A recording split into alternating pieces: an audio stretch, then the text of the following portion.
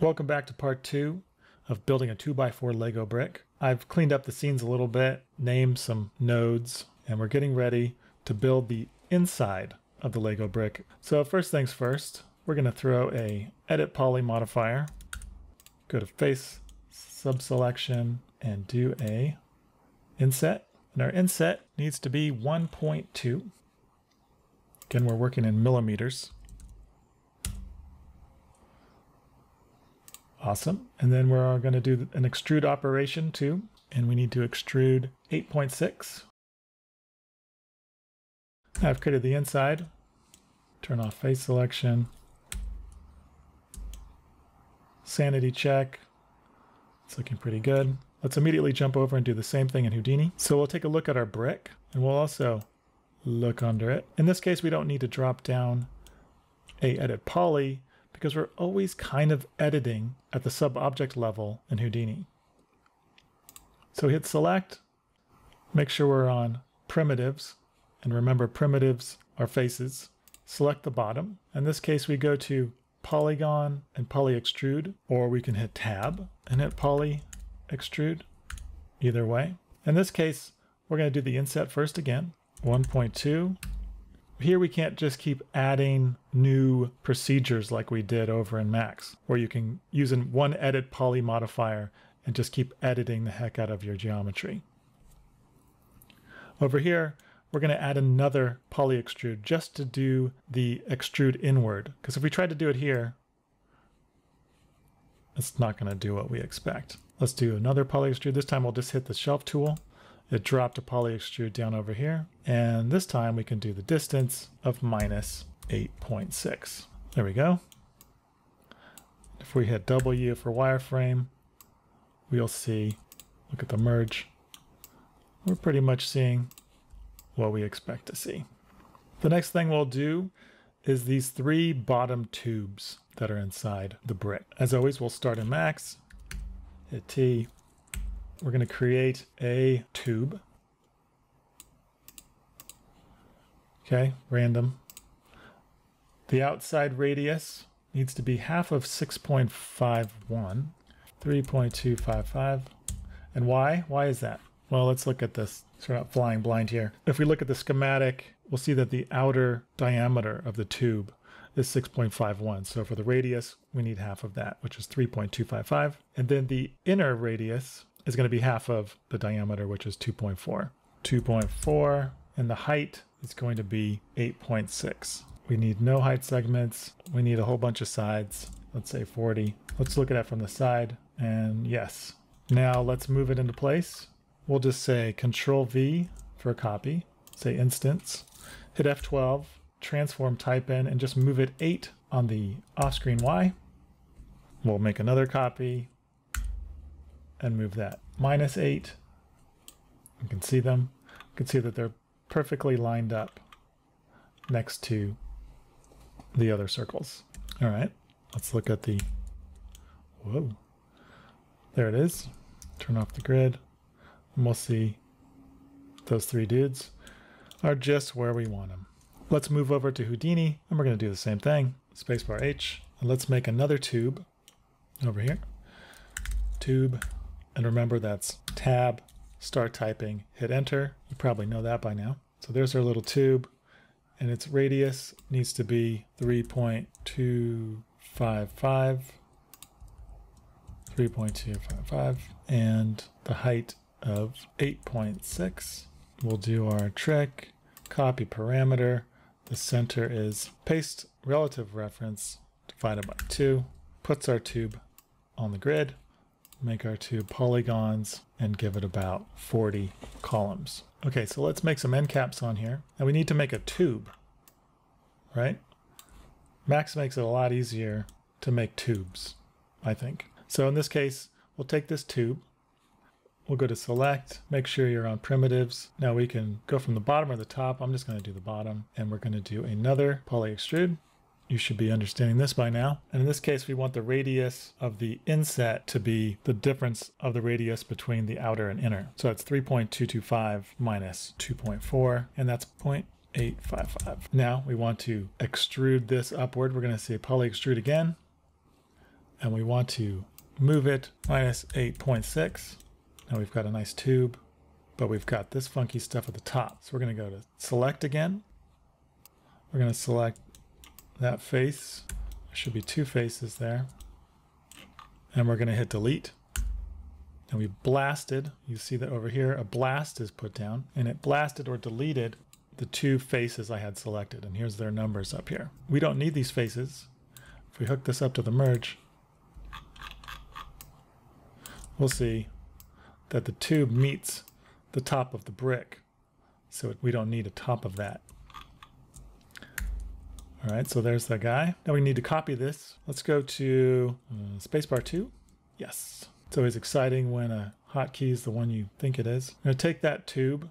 We're going to make two copies of it, right? So this will be the middle tube, and then we'll make a tube that goes to the left by putting a transform down, not a soft transform a transform, right? So this is essentially making a copy over here of our tube. We want to move that on the X. We know we need to move it eight millimeters. So we'll just say translate on the X minus eight. Now that copies there and we want another copy. Hold down Alt, move this guy, and we'll make this eight. We'll plug these both into the merge It's getting a little ugly there. Spacebar 1, spacebar H. Now we've got our tubes right where we want them. You can adjust how these plug in here by moving them around. So transform 2 would be at the left, uh, the blast would be the second one, and transform 3 would be there. Now that's less insane looking. We can also move these around. So let's be organized a little bit. Let's call this inner tube left, inner tube right, and we could leave blast to remind us what that node is. Inner tube mid. Eh, not too bad. Okay, now we've got, again, the same results in both programs in a pretty similar workflow. I think in some ways Houdini is easier. I like copy to points is very convenient. I wish Max had a tool like that. Making copies like this with transforms is uh, it's very easy.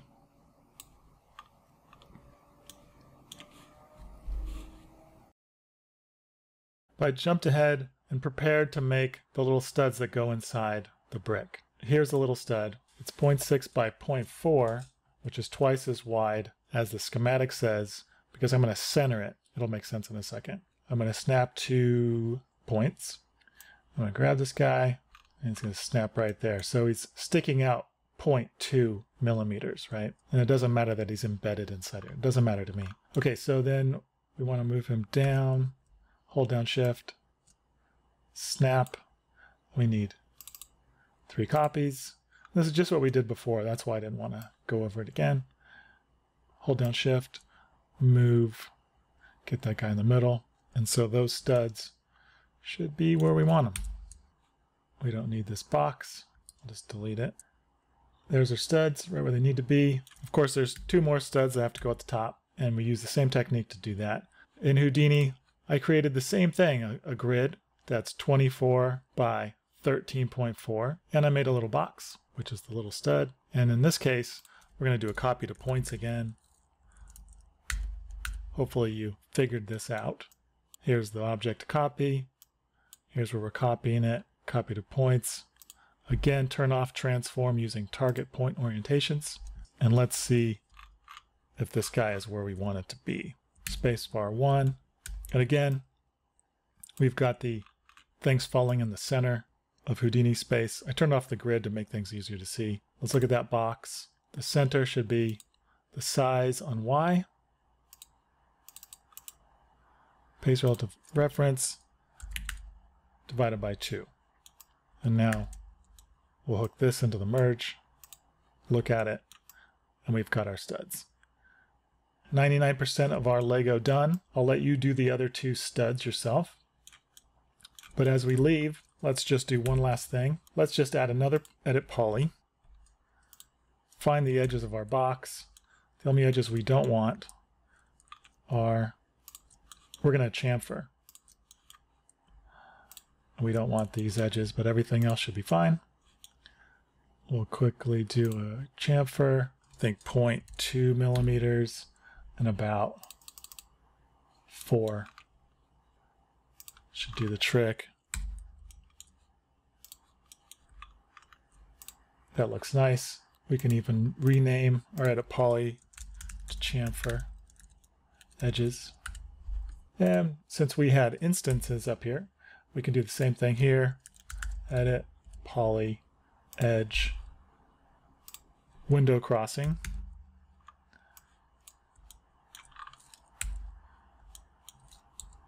Chamfer. And this time 0.25 4 and we got a beautiful beveled edge. Now over in Houdini that's pretty simple too right? So we have where's our box? I called it brick body. So after this poly extrude we can hit S for select go over to edges select them all. Wrong object poly extrude select all the edges.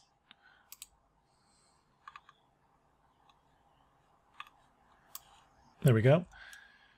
Again, we we don't want to do control click. We don't want these edges. Now we just throw down poly bevel, put in the same numbers, 0.2 and uh, four divisions. And we should have a pretty nice bevel here. Let's see this.